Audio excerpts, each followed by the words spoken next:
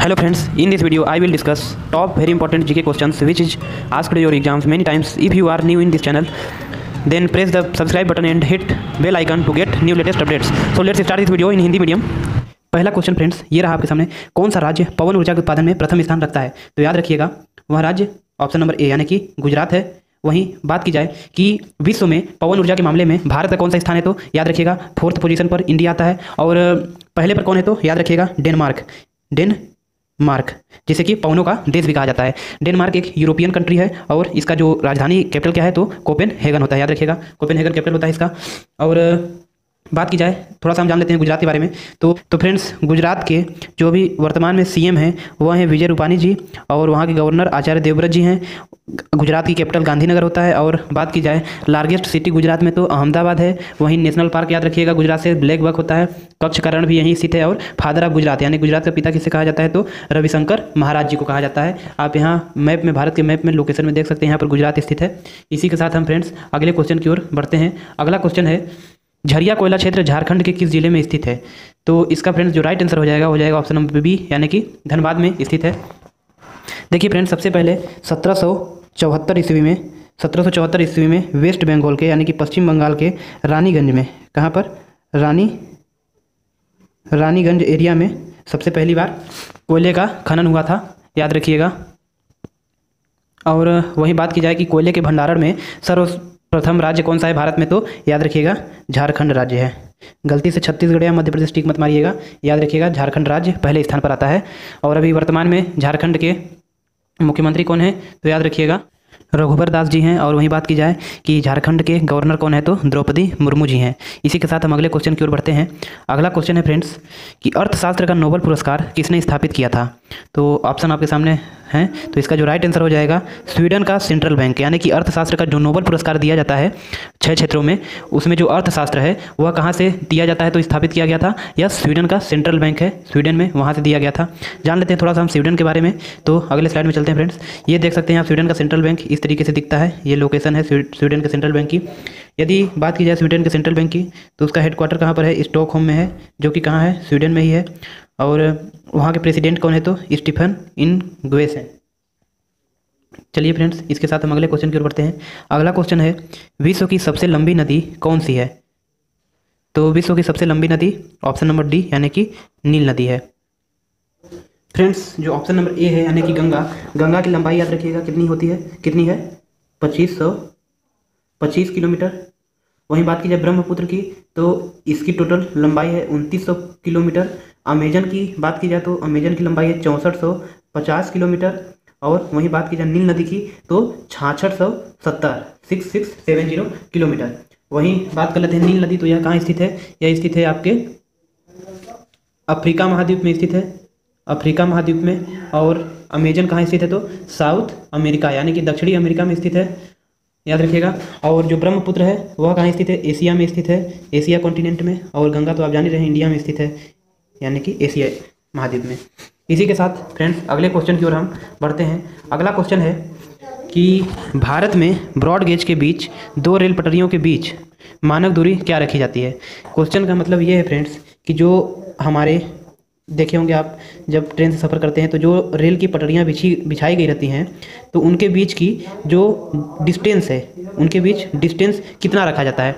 तो याद रखिएगा, ऑप्शन नंबर सी, जो ब्रॉड गेज होती है, उसके बीच में एक दशमलव छः सात छः मीटर का गैप रखा जाता है। आइए थोड़ा जान लेते हैं कि कितने प्रकार के गेज होते हैं और उनके बीच की दूरी कितनी होती है।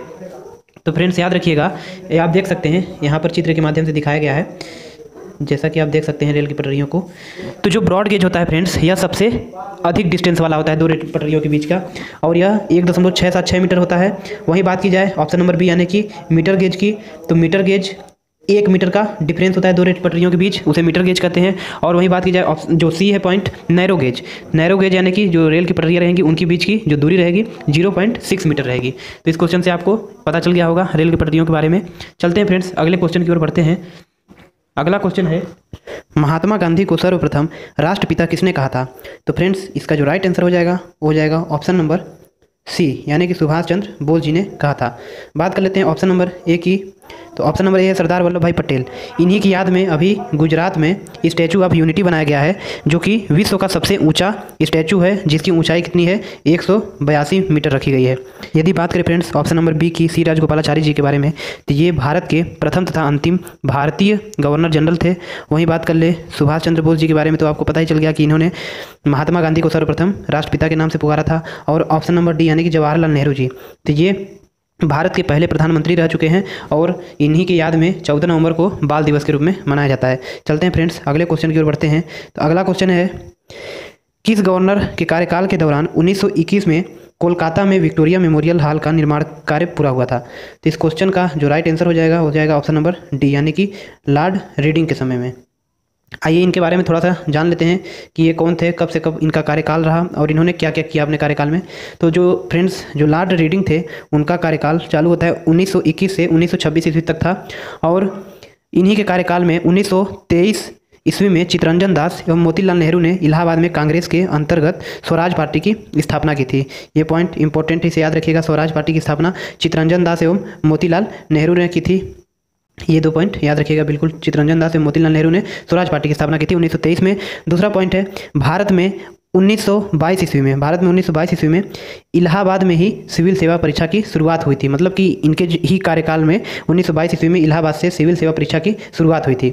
और जो पॉइंट तीसरा है 1921 ईस्वी में मोपला विद्रोह हुआ था। मोपला विद्रोह किसके कार्यकाल के दौरान हुआ था? तो याद रखिएगा, उन्नीस सौ इक्कीस ईस्वी में लॉर्ड रीडिंग के कार्यकाल के दौरान हुआ था। चलते हैं फ्रेंड्स, अगले क्वेश्चन की ओर बढ़ते हैं।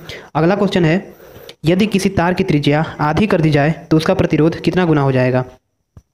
तो इस क्वेश्चन का जो राइट आंसर हो जाएगा, वो हो जाएगा ऑप्शन नंबर डी यानी कि 16 गुना हो जाएगा। थोड़ा समझ लेते हैं इस क्वेश्चन के बारे में। तो फ्रेंड्स चलते हैं अगले स्लाइड में और इसे समझते हैं। ध्यान से देखिएगा फ्रेंड्स क्वेश्चन क्या था? यदि किसी तार की त्रिज्या को, यदि त्रिज्या आर लेते हैं, तार की त्रिज्या को क्या किया जा रहा है? आधा किया जा रहा है, यानी कि वन बाई टू किया जा रहा है। तो पूछा है कि उसके प्रतिरोध पर क्या प्रभाव पड़ेगा? तो एक फार्मूला होता है प्रतिरोध का, याद रखिएगा।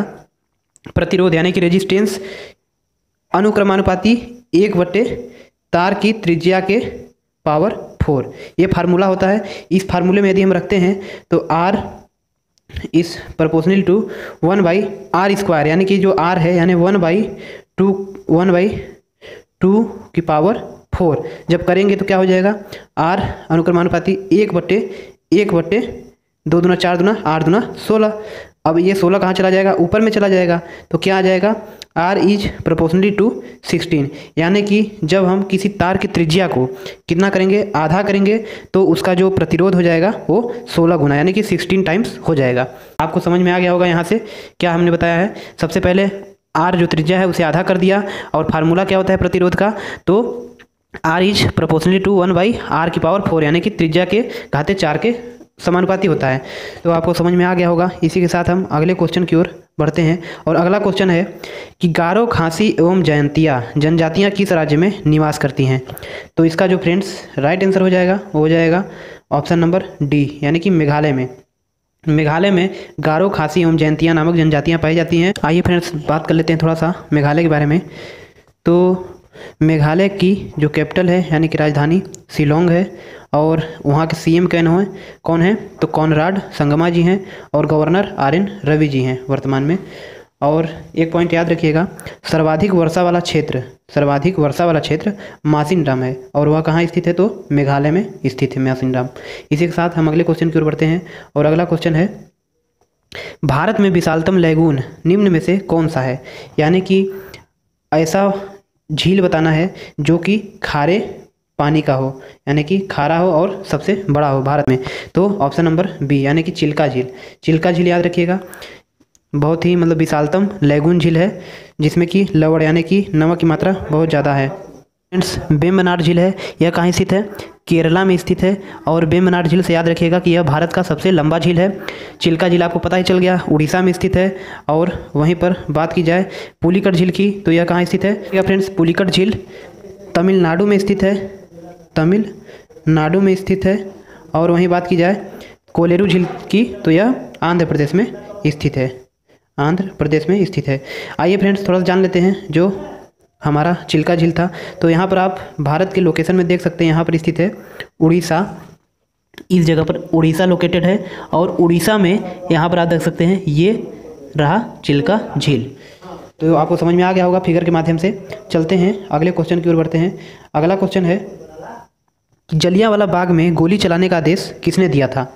तो आपको यह क्वेश्चन बहुत ही ज़्यादा रिपीटेड होता है एग्ज़ाम में।